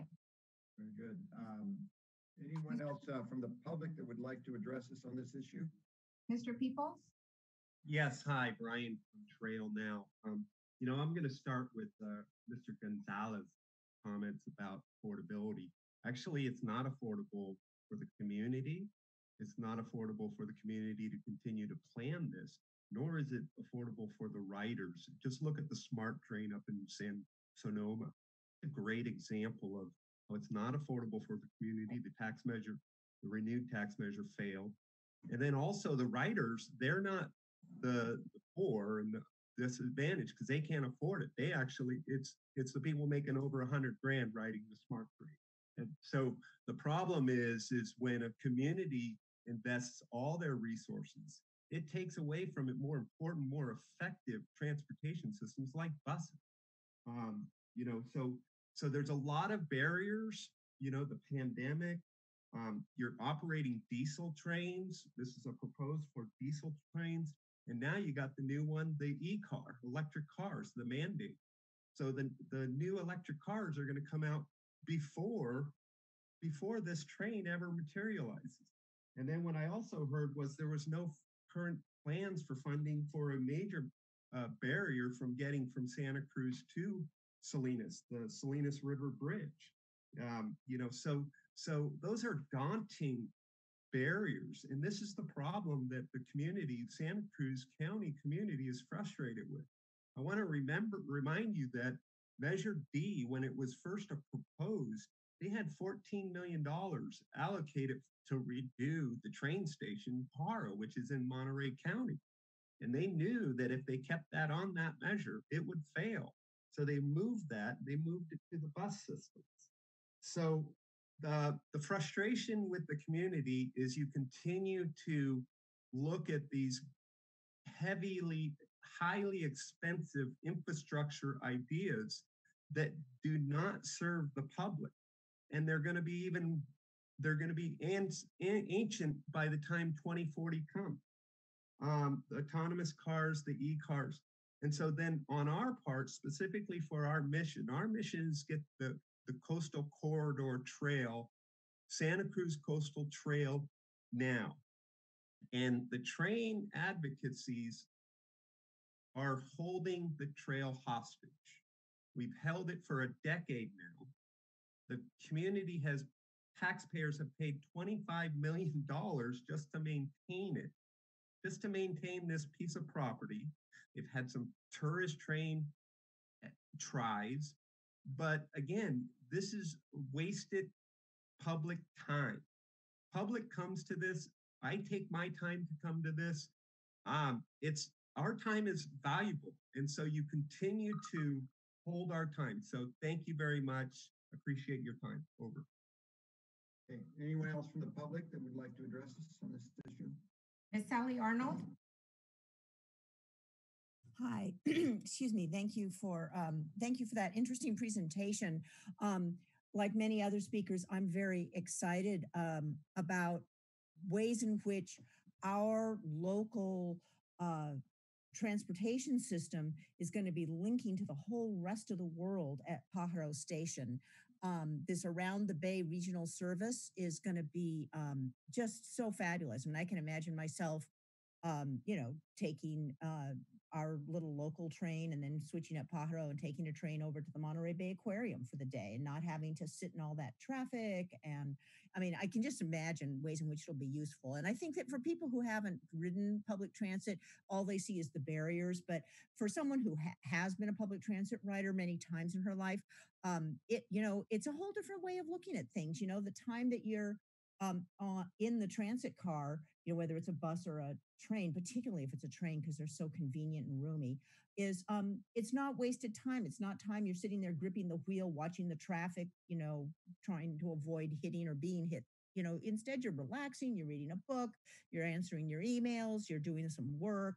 Um, it's just a whole different way of looking about using your time. And then, you know, I used to take the train to visit my parents in Sacramento and um, I, you know, my dad would meet me at the station in the car, and because yeah, the first and last mile, you know, public transit wasn't organized, but you know, then uh, I'd be visiting with them and have access to their car while I was there. I mean, it was super convenient, and um, it took a little bit longer than driving, but that time was not wasted. It was very productive time for me, um, and a lot less stressful.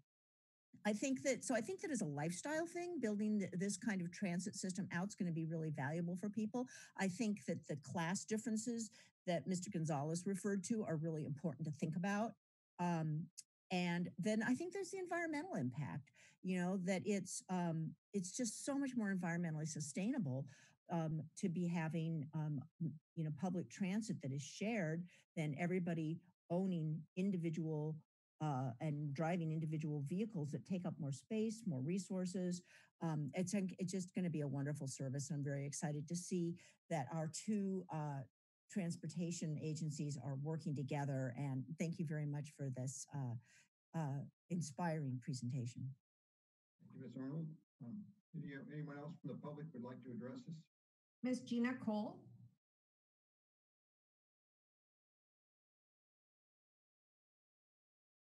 Gina?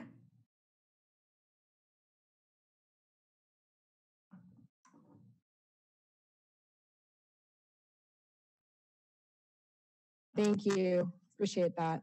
Um, Gina Cole, like Santa Cruz County, but also Watsonville resident who is old enough to remember as a kid riding the train to Monterey to go to Dennis the Menace Park. Um, it has left a lasting impression on me. Um, and I think it's really, really important that um, the work that you're doing, and thank you so much for this great presentation that really gives us a visual, um, uh, a look into the future. I'm really excited about that. Um, I also just want to point out it's not just from Santa Cruz to Watsonville to Points Beyond, it's to Watsonville, it's Points Beyond back to Watsonville. Um, we had a pretty lively meeting last night about the downtown um, specific plan in Watsonville. And one of the, you know, that was imagining a very vibrant downtown Watsonville.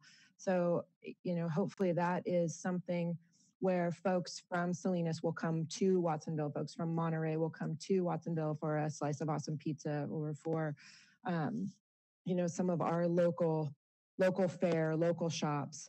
Um, and that I'm really, really, I don't know, I just think that we need to get get beyond our beyond our box and and think big for our future. Um, and this provides not just a, a, local link, not just a regional link, but also a statewide link um, that will make it easier to get around without a car. Thank you. Thank you, Ms. Cole. Mr. Barry Scott. Yes, thank you. Barry Scott in Aptos. And uh, I, I, want to first congratulate the RTC on building the trail. Segments that are becoming completed are, are fabulous. And, and I think a lot of folks don't realize that the Monterey branch, that the trail in Monterey County did not require removal of the, of the, of the rail line and that, that TAMC Monterey County has plans to restore rail service there. Uh, I think that's important. Secondly, I really want to thank Ms. Hale and Ms. Watson for coming and presenting uh, that, that regional view and for working with the RTC. Um, we talk to people, Coastal Rail Santa Cruz and Friends of the Rail and Trail, talk to people daily about, uh, you know, finding out what they know and what they don't know. And invariably, when they see the regional picture, the network, they become, you know, if they were, if they're on the fence or opposed to it, they start thinking, well, wait a minute, I didn't know that. And so I think it's just so important. And I, God, I hope we, I would love to have an update from TAMC every every RTC meeting or every other RTC meeting. Whenever there's a something to share, I think it's really important to project that that uh, regional vision. And finally, to the concerns expressed by uh, one commissioner about a trip that would be difficult to take uh, for him to San Luis Obispo, I want to point out that not every, there's no single transportation system or mode that will work for every trip, for every person.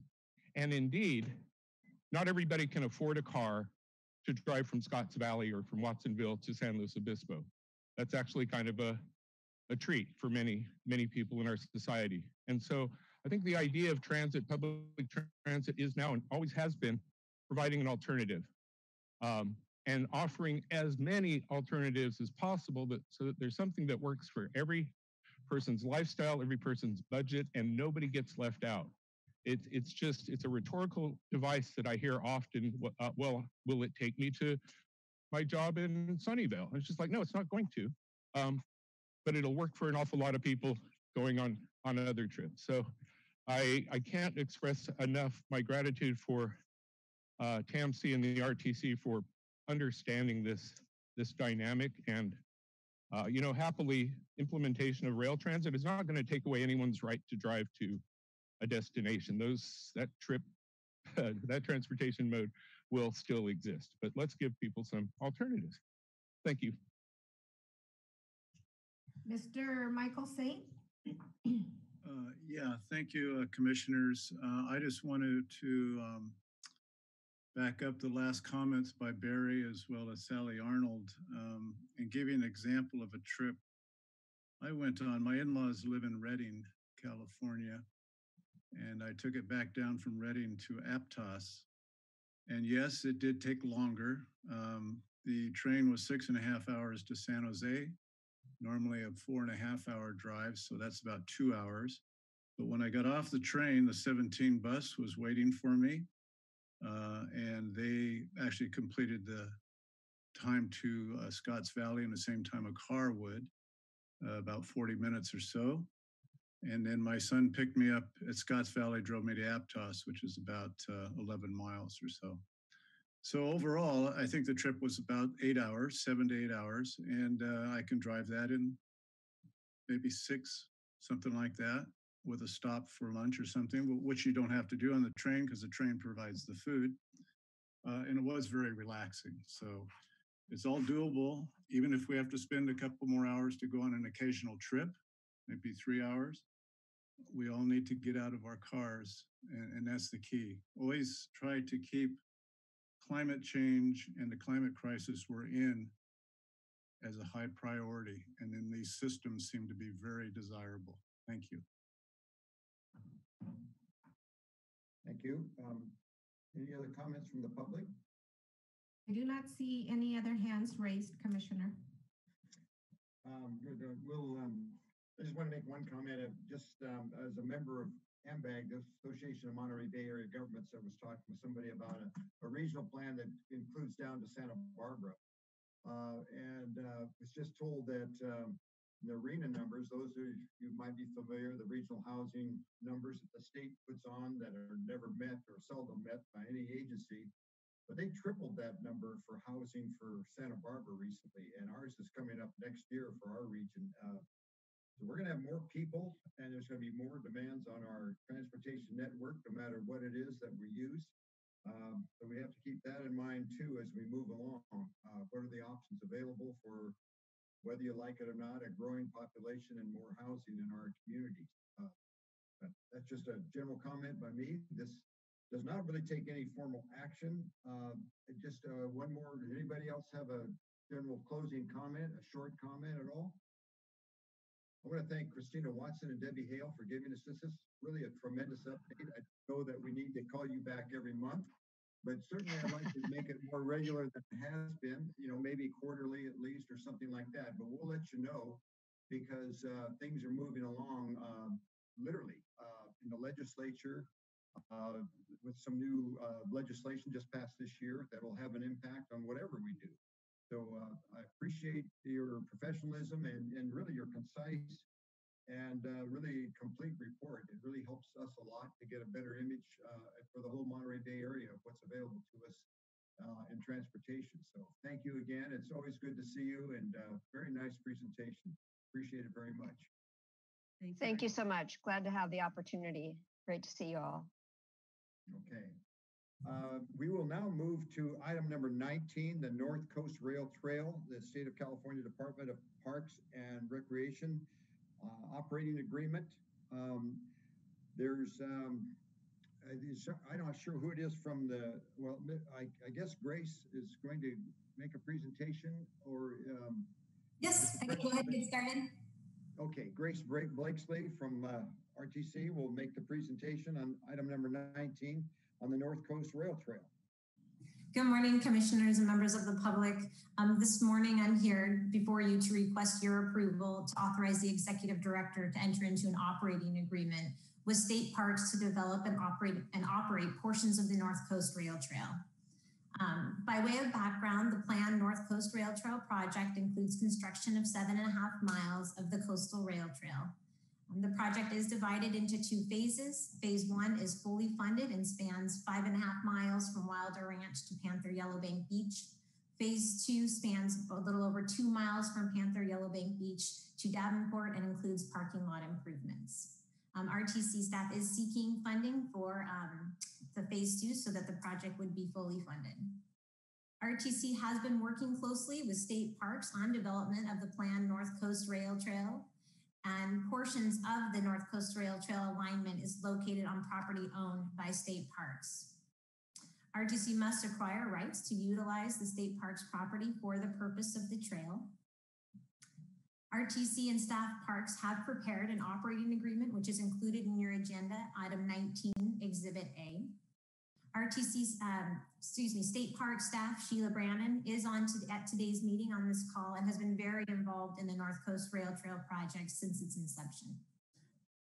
The intent of the operating agreement is to provide access for RTC to develop, operate, control, and maintain portions of the North Coast Rail Trail alignment that is located on State Parks property This primarily occurs in locations where the trail comes out of the rail cut and is located on bluffs to maximize coastal views, and in locations where the trail is near to the Wilder Ranch Coastal Complex and parking lot. During the term of the operating agreement, it's RTC's responsibility to maintain the property, um, to excuse me, to maintain the property to ensure that the North Coast Rail Trail is maintained to the satisfaction of the state. And the Measure D five-year plan does include funding for future trail maintenance and operation. The term of the operating agreement is 25 years. Um, however, RTC and state parks intend to pursue a land transfer to provide RTC an ownership interest in most of the state parks property addressed in the operating agreement. The portion of the trail not expected or anticipated to be um, a part of the land transfer is referred to as the Wilder Ranch extension, and it's the portion of the trail that's close to the parking lot and the uh, Wilder Ranch Coastal Cultural Complex. Um, this portion of the trail is anticipated to remain under the operating agreement.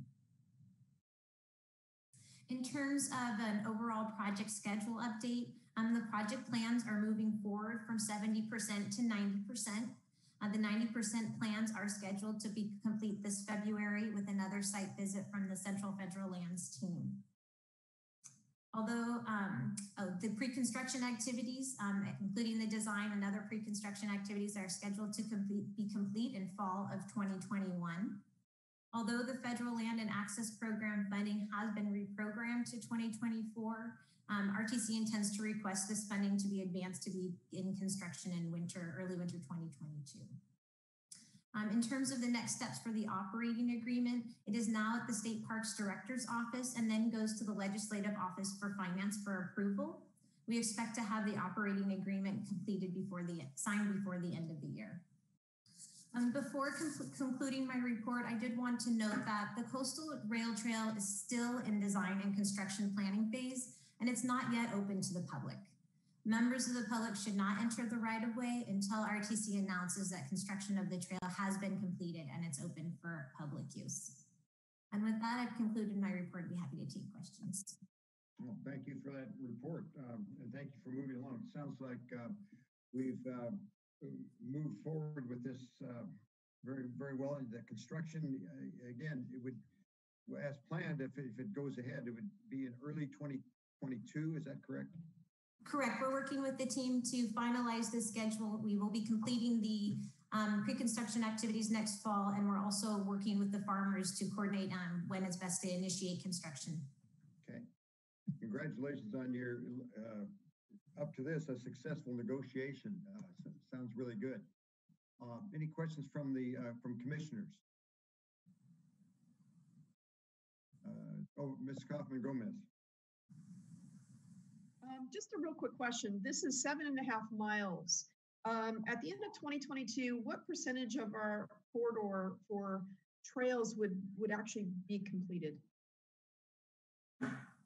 Or complete, um, constructed and, and open to the public? Yes. Um, I'd expect we, we would have segment seven completed um, as well as uh, segment five and segment 18. Meanwhile, segments 8, 9, 10, and 11 are moving forward with their pre-construction activities and would be well into design. So would you say that we would have at the end of 20, the completion schedule of this project, we would have 50% um, of our trails? I'd say approximately 10, I would say approximately 10 miles. 10 out of the 32, 30%.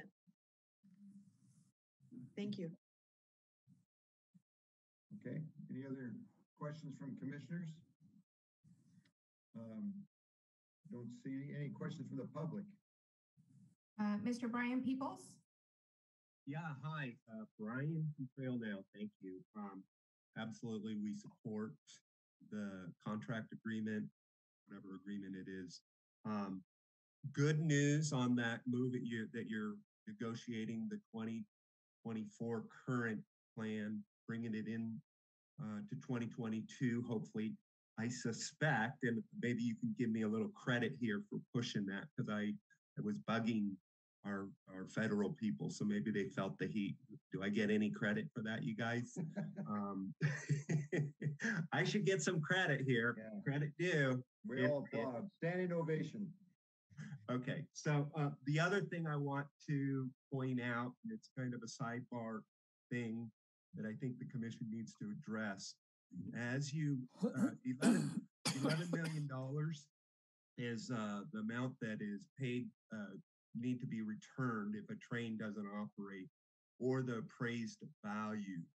Um, so the appraised value of the property today is most likely less than 11 million because it's so expensive to maintain, high liability, a lot of contamination. But as you go through and establish these parcels, as you negotiate with the, the adjacent property owners and you and you establish this as real property, you are basically increasing the value of that property. So it could get to a point where you can't pull the rails because it's going to be a hundred millions of dollars. So I think that you should start thinking about that if you haven't already. It's very important because what your role really is at the end of the day is managing this property for taxpayers. You're managing this valuable resources that goes across through the core of our community, 32 miles. Now, granted, this North Coast Trail really isn't so much a transportation, it's more of a recreational thing. But a good 12 miles, 15 miles goes through the heart of our community. And we need to keep that corridor open. We need to open it. We need not to lose it. Um, and we need to use uh, it as soon as possible. So I encourage you to, to be due diligence on, on understanding the, the responsibility that you have as public officials managing our property. Thank you very much. Thank you. Any other uh, comments from the public? Um, Miss Sally Arnold? Hi, um, this is Sally Arnold, Friends of the Rail and Trail. I just uh, wanted to again uh, appreciate the staff for their work.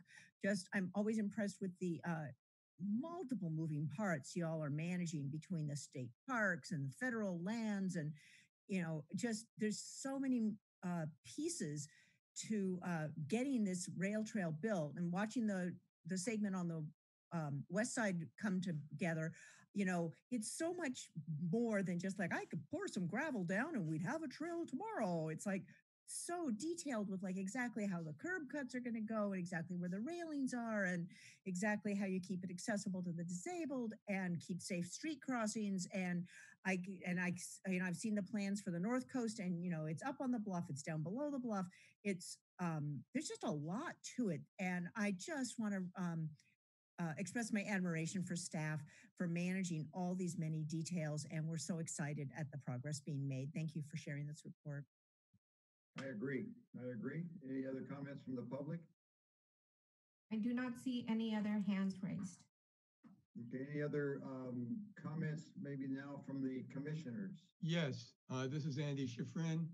Um, I also want to um, congratulate and thank, express appreciation to staff for all their work on this operating agreement. It's taken a while, it's complex. Um, uh, and I also want to express appreciation to Chris Spohrer of State Parks, who has been very supportive of this agreement all along. Uh, getting any agreement through the state parks bureaucracy is a challenge and requires uh, perseverance, not only on our part, on our staff's part, but on the uh, local uh, state parks representative. And so I really do appreciate all the um, support that's been given to this operating agreement. And I, it's a critical piece in moving this project forward. So based on that, I'd like to move the staff recommendation to uh, approve this agreement um, with state parks. I'll second. Let's see, that was uh, Mr. Bertrand, seconded. uh, Motion, motion by uh, Schiffrin. I agree. I want to especially thank State Parks and Chris Ford, too, of State Parks for his efforts. He's been great to work with, and we appreciate it very much. Um, So we have a motion, a second. Um, Please call the roll. Mr. Bertrand? Aye. Miss, uh, Commissioner Brown? Aye. Commissioner Johnson? Aye. Commissioner Coffman-Gomez? Yes. Commissioner Caput? Yes. Commissioner Alternate Schiffrin? Aye. Commissioner Alternate Mulhearn? Aye. Commissioner Leopold? Aye. Commissioner McPherson? Aye. Commissioner Bottorff? Aye. Commissioner Gonzalez?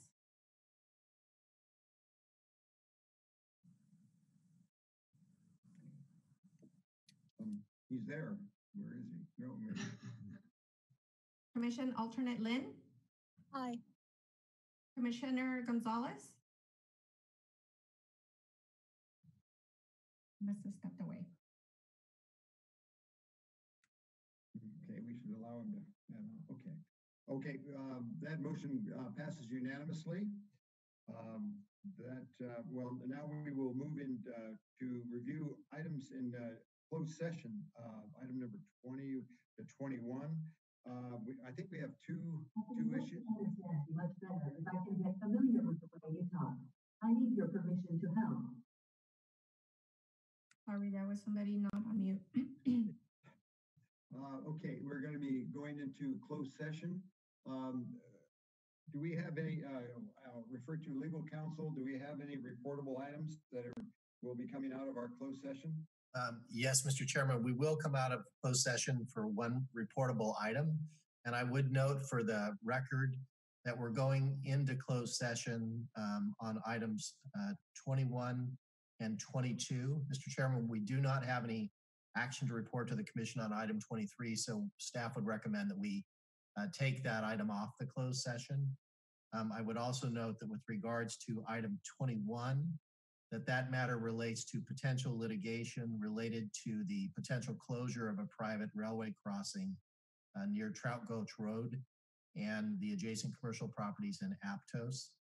And with that, Mr. Chairman, we can go into closed session. I would also note for the commissioners that commissioners would have received a separate email this morning around eight o'clock with the um, invitation information, the Zoom ID information for the closed session. Okay, uh, now, uh, on item 23, we don't have to take uh, any action on that at all then? No, we're just noting for the record that we're removing it from the agenda, uh, Mr. Chairman, because we're not, we're not going to be discussing that item in closed session. Okay. Very good. Okay, we will move into closed session and there will be a reportable item, um, presumably after when we, um, return. So, um, I will, um, we'll move into closed session and, um, let's, uh, get back in about, uh, five minutes. Does anybody need more than five minutes? Let's make it five minutes and we will get back. It is now five minutes to 11, so at 11 o'clock, we will return to, uh, our closed session.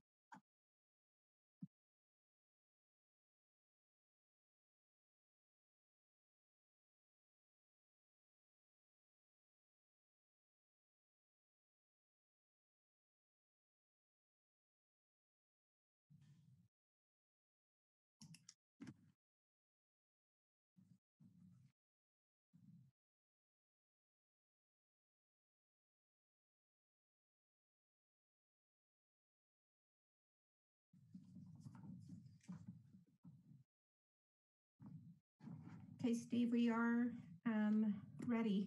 Okay, we are great. I'll, I'll go ahead and, uh, Mr. Chairman, with uh, your consent, I'll go ahead and announce out of closed session. Very well, Um, thank you. Thank you, Mr. Chairman.